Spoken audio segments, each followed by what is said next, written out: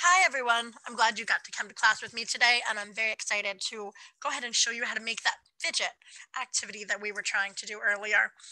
We're going to look at fidgets as being a kind of a thing to help ourselves to de-stress when we're upset, frustrated, or annoyed, or any of those things start happening that we feel out of control. It allows us to focus on something other than what's stressing us out. And as you can see, this is called the infinity cube. With the old fashioned spinners, and of course, we have all these lovely fidgets that we can play with. For this activity, you're going to need the following. You're going to need some toothpicks. You're going to need some scissors. You're going to need a pencil. You're going to need some glue. You're going to need some tape, a marker, and the two templates that are in the classroom. The one that looks like a um, a Y and the circle. And you're going to need some coins or three pennies, which are going to serve as your weights. You can use washers if you like those instead, or you can use the pennies. They're the same size as the circle. So it makes more sense to do it that way. The first thing you're going to need is you're also going to need some cardstock and some construction paper first thing about the cardstock is that it is heavier than construction paper, so it will hold up for a little bit longer. You can certainly use construction paper if you choose to do so. And I'm going to pick my favorite on here. I think I like the rainbow, so I'm going to use that one as the base of my fidget. So I'm going to cut that out.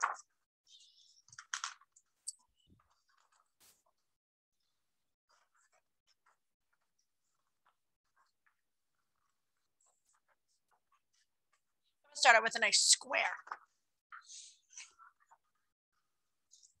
So let me switch my camera to my smaller camera here. You can check a look at what I'm doing on the table. All right, so I'm starting out, I have my paper.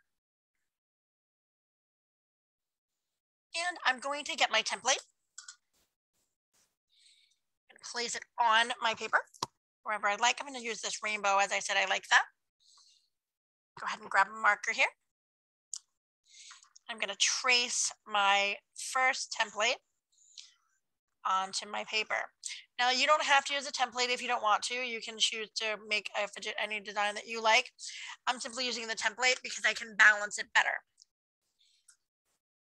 Then I'm also going to take and I'm going to use my construction paper to make myself two little circles as well. Those are going to be what goes inside of my fidget. go ahead and cut this out. And this is going to be the base of my fidget.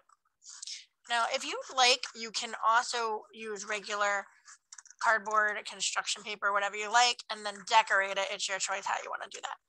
But I already had some cardstock that had some pretty colors on it, so I decided to do that. Put that aside.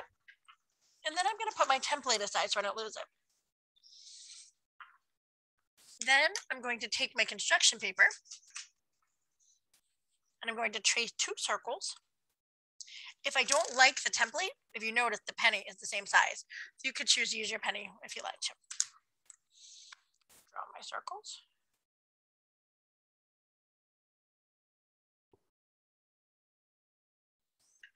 And again, I want two of them.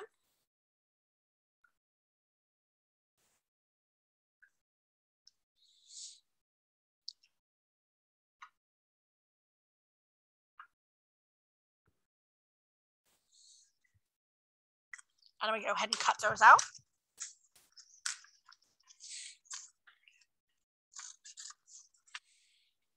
Being very careful to make sure that I don't cut it too small or too big because they need to be relatively the same size.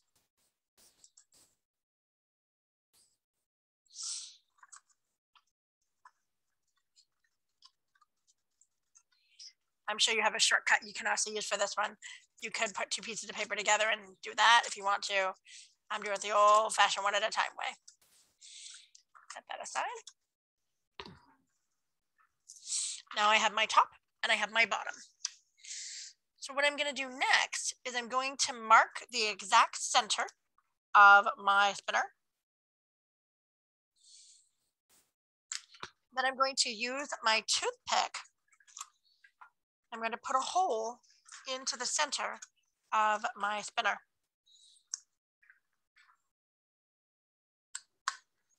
Right on through the center there, like that. Now I'm going to decide which one of my circles is going to be my top and which one of my circles is going to be my bottom.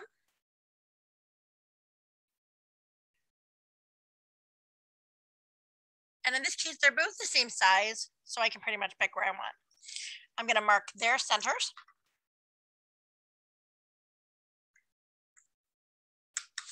And I'm going to place them on the toothpick, top.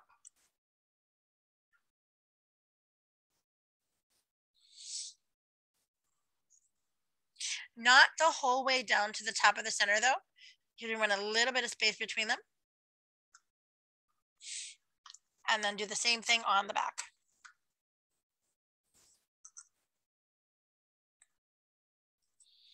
Again, giving some space so that I can freely spin my spinner.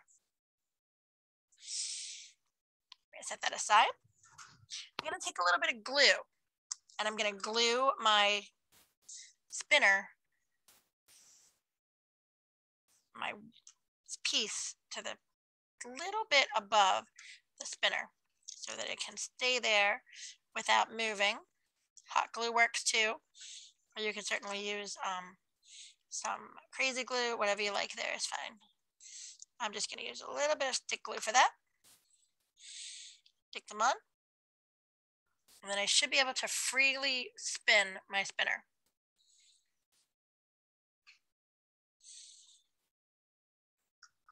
Now I can leave it as is if I like, it's completely finished as a spinner. Or I can take some construction paper, fuzzies, whatever I like, and decorate the spinner to cover up the toothpick. And the more you put on the spinner, the more um, weighted it will be. The other thing to remember is that we're also going to weight down the sides with our pennies. So I'm going to take some time here and I think I like some hearts. So I'm going to draw myself some hearts that are a little bit bigger than that circle or a little bit smaller than the circle, whatever you like is fine. Maybe I like some clouds, maybe I like some hearts, whatever. You're going to make some shapes to put on top of the spinner. Draw myself some hearts.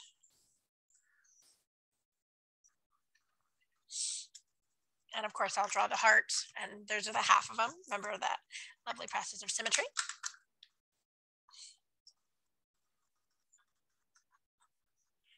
One.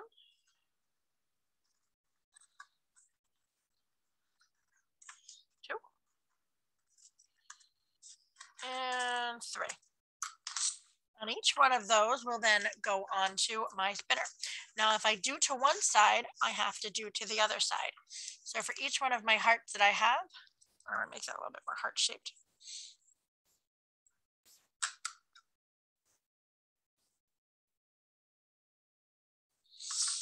Each heart that I have on the top, I also want to put one on the bottom.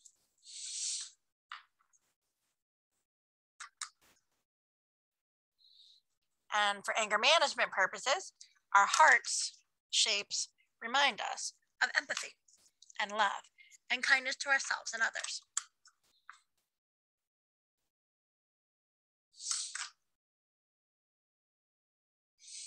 Again, if I put it on the top, I have to put it on the bottom. Put my garbage aside there. Take it on down and make a little spot in the middle and place it on top. Bring it on down over top of there.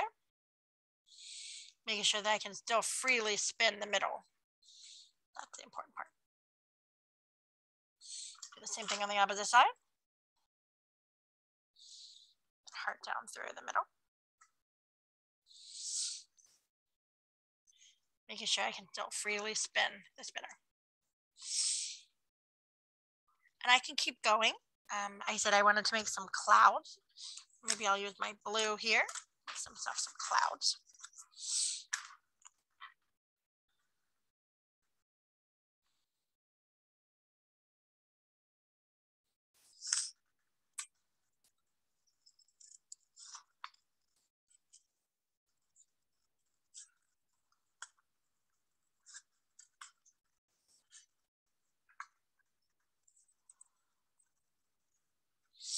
Can kind of make it as I wish. My cloud go around there. Cloud number one.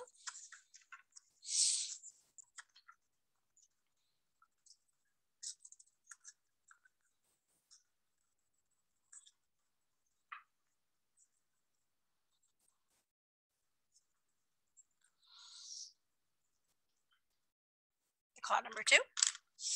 Cloud number one on top. Poke it on down through that circle. Cloud number two on the bottom.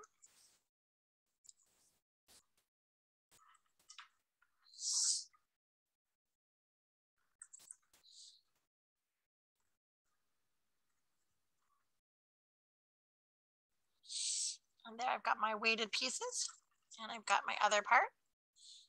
And I'm still able to spin that spinner, which is what I want to be able to do. So once I have as much as I want to put on my spinner, I can just trim off the end of where my toothpick is. I can make it into a top if I want to. Or I can trim off the other side. You got a smaller spinner there again, we are using those pieces as a way of uh, kind of helping out with a toothpick. So we could keep adding on if you want to until you have what you like with a toothpick, or you can trim the toothpick until it's small enough that it acts as a spinner on itself. Now the final piece is we're going to take these pennies and we're going to weight down the spinner. What'll happen in this way is that the spinner spins very nice as it's not attached to their sides there. Move it up a little bit, a little bit of adjustment. The spinner spins very nice on its own, but the weights will allow it to spin faster. I'm gonna take and we're going to put the three pennies on the sides of the spinner.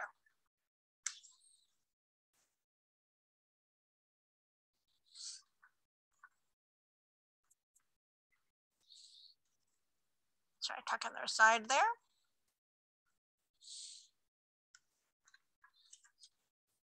This one on this one.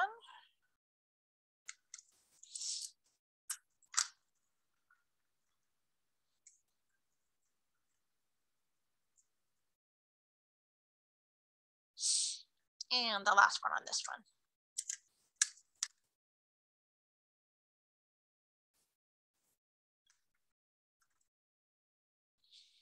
you can certainly decorate your spinner any way you like to.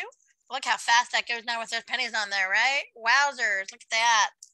Pretty awesome, pretty awesome. Pretty amazing there, my friends. Pretty amazing. So that, my friends, is our spinner. I hope you enjoyed our lesson today. I hope you enjoyed um, making your spinners. If you do decide to make one, please feel free to share it with us in the classroom. Again, if you like to make it as a top, you can certainly do that. You can keep adding on items to give it some weight there on the top. And of course, those pennies or washers are a great way to give yourself some of that speed. We use the spinner as a way to kind of remind ourselves that we're in control of our emotions. We can look at it from that perspective and look at it and uh, watch it spin as a kind of a focused mindfulness practice. May you be happy. May you be healthy. May you be peaceful and may you have a great rest of your day. Enjoy your spinners. Thanks, everyone. Bye bye.